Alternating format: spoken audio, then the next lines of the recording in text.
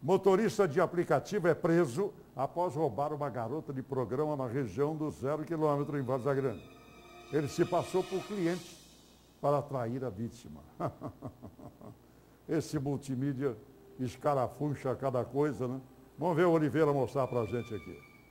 Região do zero quilômetro em Várzea Grande, conhecida por vários atrativos. Aqui é um local onde se vende o sexo. Garotas de programa ocupam essas esquinas, são boates e bares espalhados por todos os lados, mas nem tudo é diversão.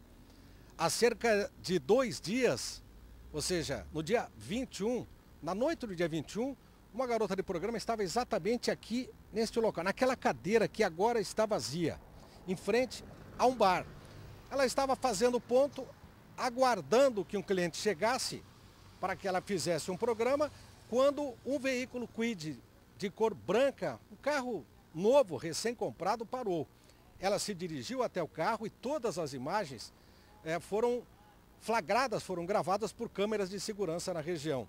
Ela aceitou o programa, entrou no veículo e quando o motorista entrou para ruas ah, aqui atrás, inclusive as ruas onde há mata, aqui próxima à região do zero quilômetro, o motorista identificado como Alisson sacou de um revólver, encostou nas costelas da vítima, uma jovem entre 20 e 25 anos, que nós estivemos aqui pela manhã e conversamos com ela.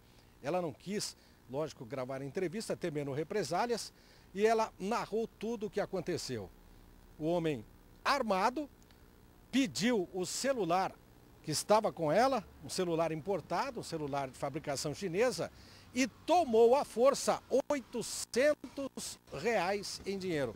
Nesse caso, a vítima, ela trabalha como garota de programa, ela tem três filhos, inclusive, e na noite dos fatos, ela, ela estava trabalhando na região do Jardim Potiguar, em Várzea Grande, quando esse meliante se aproximou com o veículo dele, se fazendo passar por um cliente, simulando se tratar de um cliente, propôs o, o programa. A vítima então embarcou no veículo do, do vagabundo. Quando lá pelas tantas ele desviou do trajeto, a vítima percebeu, ficou apavorada e perguntou se ele não era da região.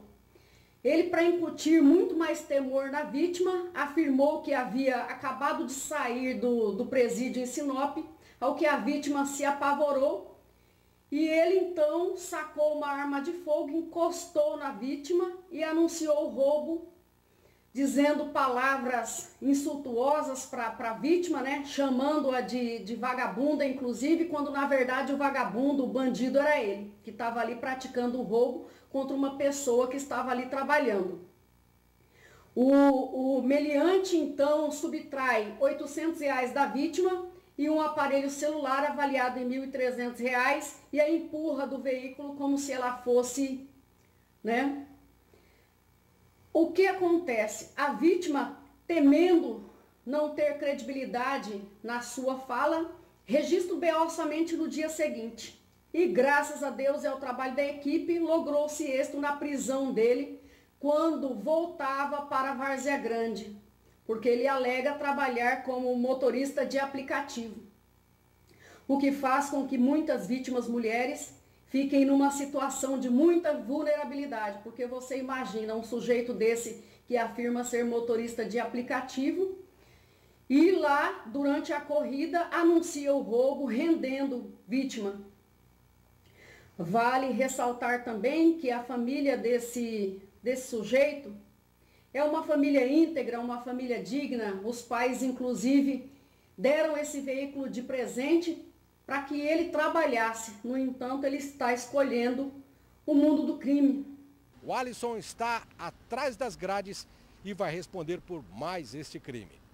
Com imagens de Marcos Xavier Oliveira Júnior para o Cadeia Neles.